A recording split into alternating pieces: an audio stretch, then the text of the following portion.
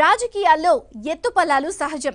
ఎన్నో ఆటుపోట్లు మరెన్నో తిరుగుబాట్లతో ఒంటరివాడైన రాజ్యసభ సభ్యుడు డిఎస్ ఇప్పుడు దూకుడు పెంచారు. టీఆర్ఎస్కు చెందిన బీజేపీ నేతగా డిఫరెంట్ యాంగిల్లో ఆయన మళ్ళీ ఫామ్లోకి వచ్చారు.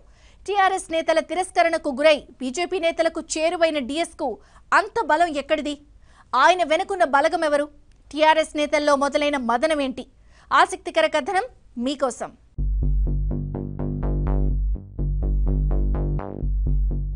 పడ్డవాడు ఎప్పుడు చెడ్డవాడు కాదని పెద్దలేనాడో చెప్పారు. ఆ మాట ఇప్పుడు ధర్మపురి శ్రీనివాస్కి చక్కగా వర్తిస్తుంది.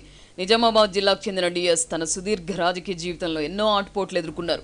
సుమారు నలభై ఏళ్ళ క్రితం ఎన్ఎస్యుఐ నేతగా రాజకీయ రంగ ప్రవేశం చేసిన డిఎస్ క్రమంగా కాంగ్రెస్ పార్టీ రాష్ట్ర సారథి స్థాయికి ఎదిగారు.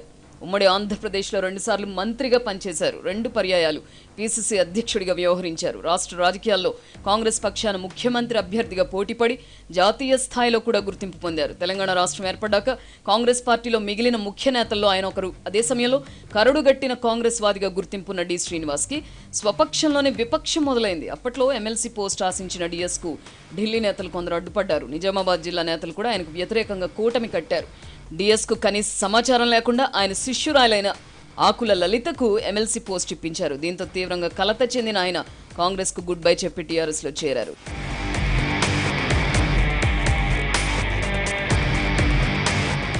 సీఎం కేసీఆర్తో ఉన్న సాన్నిహిత్యం వల్ల డిఎస్కు గౌరవప్రదమైన పదవి లభించింది. పార్టీలో చేరిన తొలి రోజుల్లో రాష్ట్ర ప్రభుత్వ సలహాదారుడిగా ఉన్న డిఎస్ కొంతకాలానికి రాజ్యసభ సభ్యుడయ్యారు.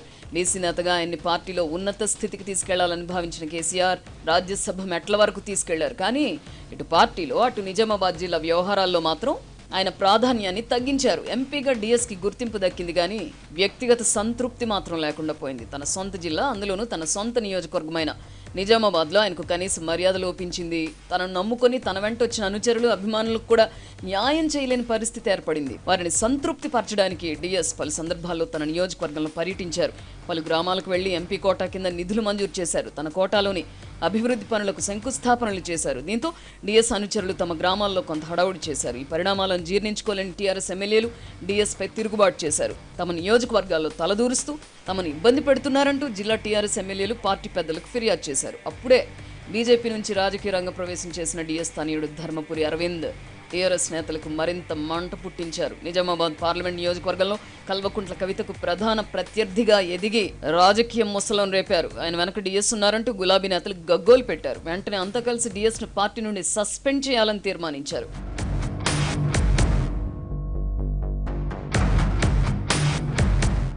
అప్పటి నుంచి ధర్మపురి శ్రీనివాస్ పరిస్థితి మరింత ఇరకాటంలో పడింది.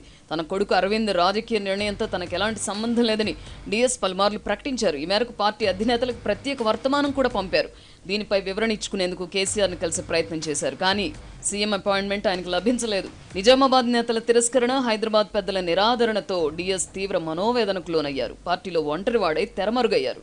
మూడు దశాబ్దాల పాటు వెలుగు వెలిగిన డిఎస్ ప్రతిష్ట టీఆర్ఎస్ నీడన మసకబారిందని వివిధ రకాల చర్చలు జరిగాయి. ఓ దశలో ఆయన అనుచరులు కూడా డిఎస్కు దూరమయ్యే పరిస్థితి ఏర్పడింది.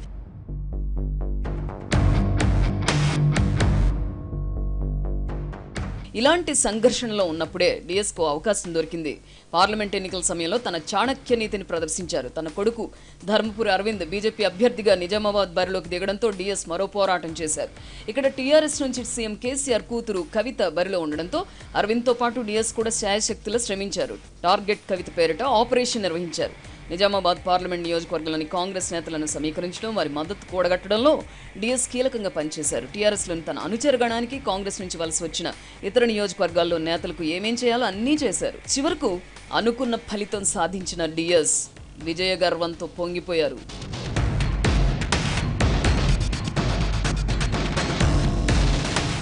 తన తనయుడు ధర్మపురి అరవింద్ ఎంపీ అయ్యాక డిఎస్ పొలిటికల్ స్టైల్ మారిపోయింది. బాహటంగానే ఢిల్లీలో బీజేపీ నేతలను కలిసి వచ్చారు ఆ పార్టీ అధినేతల నుంచి వచ్చిన సంకేతాలతో డిఎస్ బహిరంగంగానే పనిచేయాలని నిర్ణయించుకున్నారట. ప్రస్తుతం టీఆర్ఎస్ పార్టీకి చెందిన రాజ్యసభ సభ్యుడిగా ఉంటూనే బీజేపీ బలాన్ని పెంచుతున్నారు. తన అనుచరులను చేరదీసి బీజేపీకి అండగా నిలిచారు. తన బలగంతో కొడుకు అరవింద్కు అదనపు బలాన్ని ఇచ్చారు. బీజేపీ నేతలతో సాన్నిహిత్యం పెంచుకొని వ్యూహకర్తగా కొనసాగుతున్నారు. టీఆర్ఎస్లో అనుమానాలు అవమానాలతో నానా ఇబ్బందులు పడుతున్న వలస నేతలను తిరిగి తన వైపు రప్పించుకుంటున్నారు. ఈ బలంతో డిఎస్ కొత్త బలాన్ని పుంజుకున్నారు. తన పూర్వ వైభవం వైపు అడుగులేస్తున్నారు.